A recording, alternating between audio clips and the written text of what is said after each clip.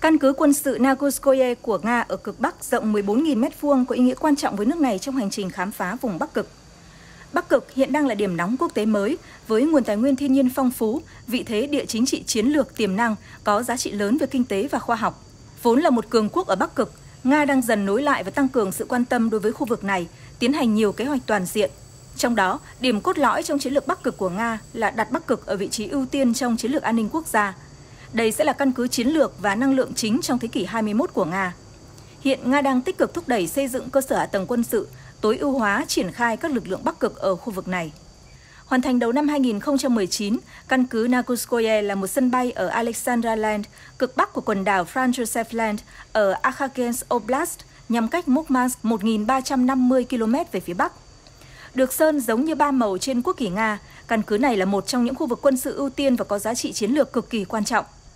Căn cứ rộng 14.000 m2 này được đặt tên là căn cứ Arctic Trefoil, căn cứ cỏ ba lá Bắc Cực, bởi trông nó giống như cỏ ba lá. Để các binh lính có được môi trường sống thoải mái, khu nhà ở tập thể được khép kín hoàn toàn. Các hành lang giúp kết nối các tòa nhà và những nơi khác, cho phép binh lính đi lại mà không cần ra ngoài, không phải đối mặt với cái lạnh khắc nghiệt có thể xuống tới âm 47 độ C. Quanh năm, nhiệt độ bên trong căn cứ quân sự này luôn được giữ ở mức dễ chịu từ 26 đến 28 độ C.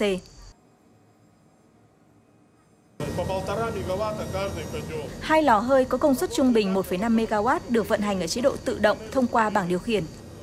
Chỉ có một lò hoạt động là đủ. Và mùa đông khi trời lạnh hoặc có gió thì lò thứ hai sẽ hoạt động. Nhưng bình thường ở đây một lò là đủ. Ngoài ra, căn cứ này cũng được lắp đặt máy lọc nước, thiết bị thông gió, xử lý rác tiên tiến nhằm đảm bảo sự thoải mái và bảo vệ môi trường. Nhờ vào những công nghệ tiên tiến, căn cứ có thể cung cấp điều kiện sống và làm việc cho 150 binh lính trong 18 tháng mà không cần tiếp nhận sự hỗ trợ từ bên ngoài. Tôi muốn đến Bắc Cực. Đồng nghiệp của tôi thường kể cho tôi nghe nơi đó đẹp thế nào. Vì thế tôi quyết định phục vụ cho hạm đội phương Bắc có trụ sở ở Bắc Cực. Tôi đã làm việc ở đây một năm và rất yêu nơi này. Thật tuyệt khi được làm việc trong đội ngũ ở đây. Tôi tự hào khi được làm việc ở Bắc Cực, bởi các con tôi có thể nói rằng bố chúng là một trong những người đầu tiên làm việc ở căn cứ Arctic Trefoil. Nhiều người làm việc ở đây chia sẻ, dù phải xa quê nhưng điều kiện làm việc và sinh hoạt không có gì khó khăn và họ luôn cảm thấy tự hào khi được đóng quân ở vùng Bắc Cực.